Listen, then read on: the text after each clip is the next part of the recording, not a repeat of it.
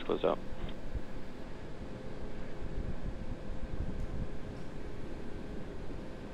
I mean, as our LOX is fully loaded uh, and it's topped off, you'll start seeing this condensation, these clouds form more and more uh, right up, to, up until liftoff.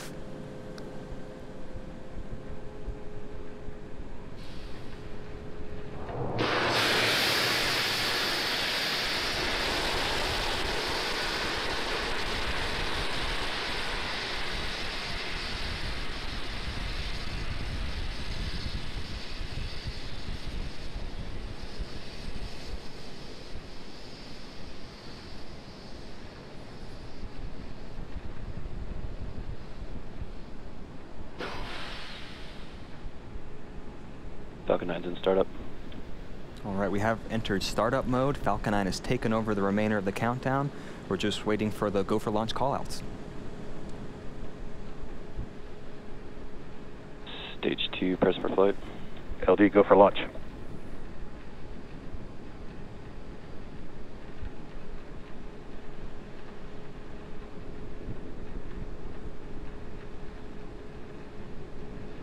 T minus 30 seconds.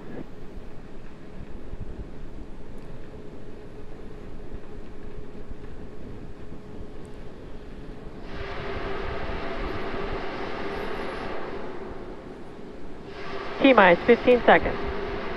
Falcon 9 is in flight. 10, 9, 8, 7, 6, 5, 4, 3, 2, 1, 0. Ignition. And liftoff of Falcon's first East Coast polar launch, Ola, Argentina.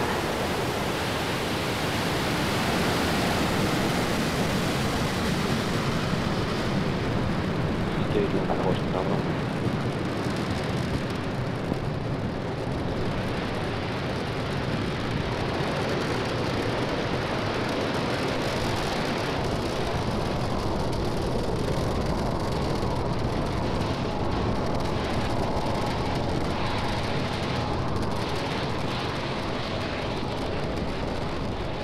We're now 40 seconds in the flight. Falcon 9 has taken off. It's cleared the tower, and we're currently throttling down to prepare for maximum Q. Uh, that's the point of maximum aerodynamic pressure. It's at 1 minute 12 seconds.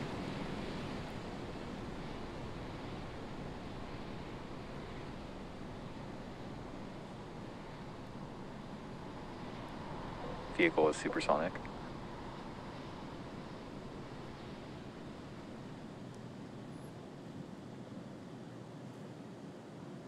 Vehicle has reached maximum aerodynamic pressure. You've heard it. We've reached uh, max Q. At this point, the loads in the vehicle become less and less as the atmosphere gets thinner. We're now able to throttle those Vehicle Merlin engines back up. And uh, at its maximum power, like right now, And the the vehicle consumes started. more than 700 gallons of fuel per second. Um, all is looking good with our first stage's trajectory. Uh, the next couple events, uh, there are five events, one after another. First, our main engine cuts off uh, on our first stage. The stages will separate. Uh, our first stage will then flip around to uh, begin its landing attempt.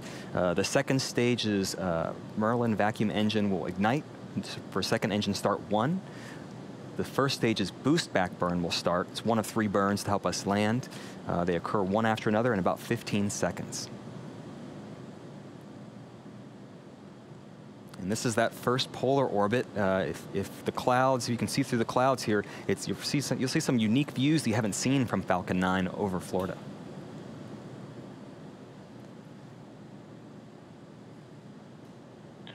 And we have MECO.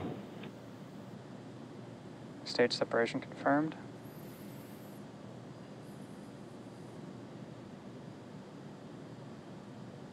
And the ignition.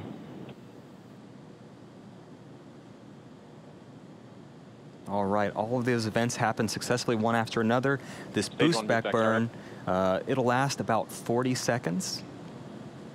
And so you see it on the left-hand side of the screen. On the right-hand side, you will see our uh, second stage uh, carrying those three uh, satellites to orbit. And coming up next in about 20 seconds, uh, that boost, burn, boost back burn will end, and then we'll have our fairing deployment.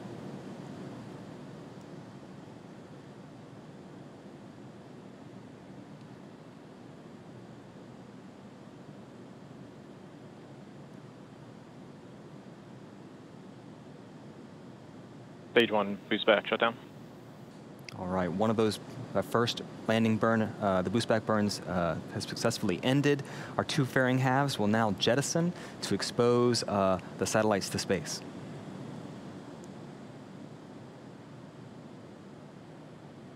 And you see the first stage has already being a turnaround, and you can see the uh, nitrogen from our attitude control system helping guide it back.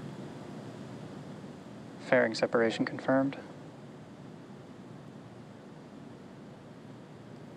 There you see our two fairing Acquisition halves have, have jettisoned. Uh, you can even see them in, in the background there on our MVAC engine, and you can see them from land too. Uh, it'll take us some time to get those uh, to come back down. We'll keep you posted on the update.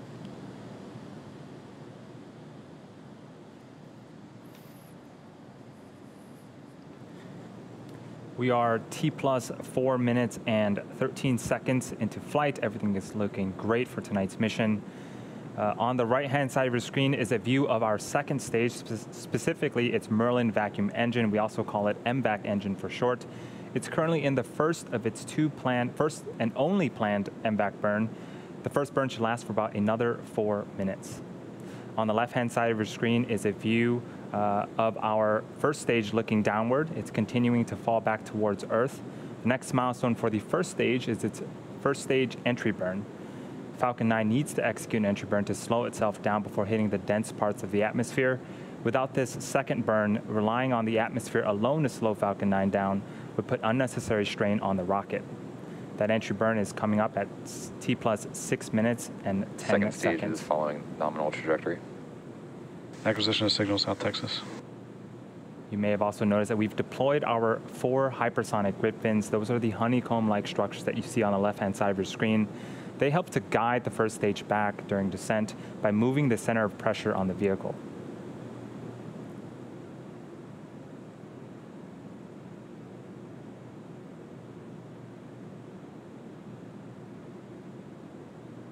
Again, those bursts of gas are nitrogen.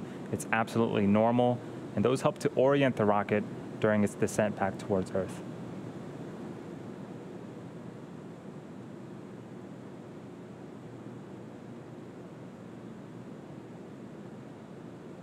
We're about 20 seconds away from our second burn, the entry burn. Stage 2 FTS has safed.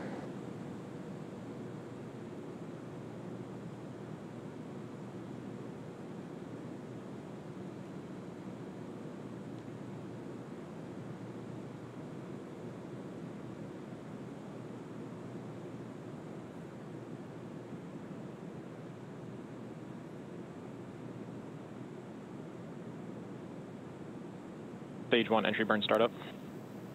and three Merlin engines have relit and are currently slowing the first stage down before it hits those dense parts of the atmosphere.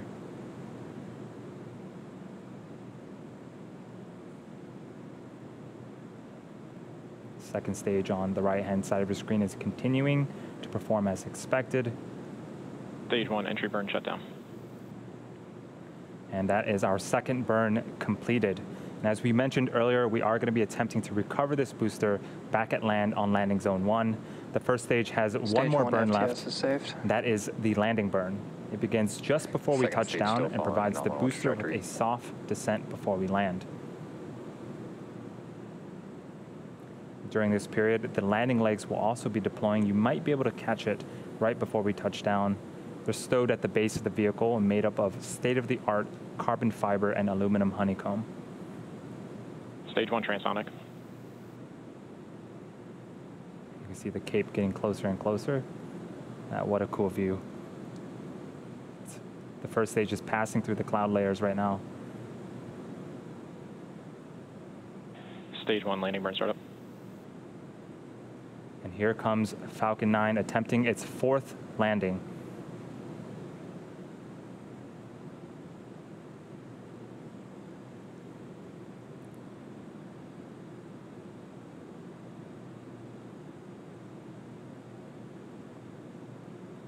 Stage one, landing leg deploy.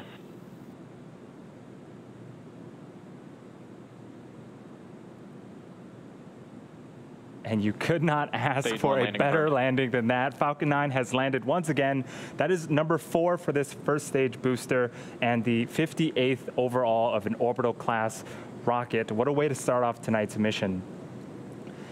Uh, the second stage and our primary mission are still continuing and uh, remain healthy. Uh, the next milestone for the second stage is second engine cutoff one, also known as SECO 1, and that is coming up at T plus 10 minutes and 5 seconds. During second engine cutoff one, we'll be shutting down the second stage's MVAC engine. And as we approach this period, we'll be listening very closely for two callouts verification of SECO 1 and then confirmation of a good orbital insertion. Both are going to be critical to ensuring that we deliver all three payloads to their intended orbits tonight.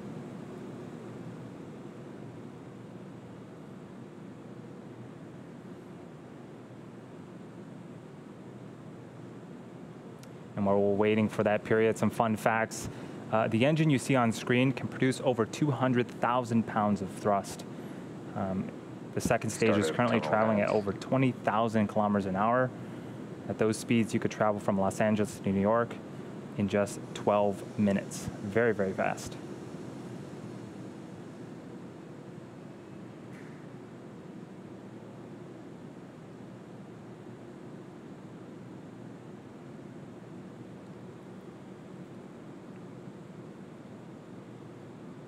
We're about 20 seconds away from second engine cutoff one.